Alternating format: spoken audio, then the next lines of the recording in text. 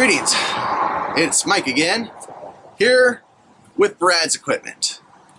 This was the cold steel axe that Brad carried around. Again, I don't have all the equipment to hold this on myself. He also carried a cold steel Warhammer, which he modified himself to become a little sturdier and better to grip. And finally, that's right, his blunderbuss.